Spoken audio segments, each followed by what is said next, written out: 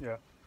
Okay, passenger car project day two. Um, I didn't film any of the stuff that we did throughout the day just because we kind of focused on getting the work done rather than filming and getting the work done, which always takes longer.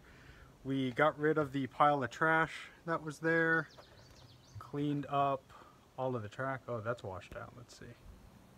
Yeah, cleaned out all of the track and then did some discovery work inside.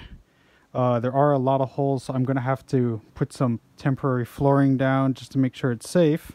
And found kind of a unique discovery. Yeah, my parents are here. They were helping me out. You can see them.